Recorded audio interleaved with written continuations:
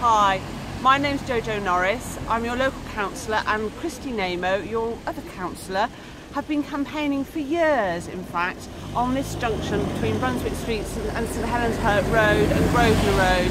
It's really dangerous because the stop, the time between the traffic lights changing is about two seconds and there's lots of people crossing over that suddenly find themselves having oncoming traffic trying to run them over. We've quite a few accidents. So at last, after a few years, Jonathan Chilvers, your county councillor, has taken notice of us and is at last going to do something about these traffic lights. We're not quite sure what. What we want to see is that the traffic lights are coordinated and hopefully some stripes across the road, so a bit of a zebra.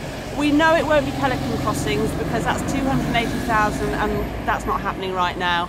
But yeah, really pleased to see it going to happen anyway.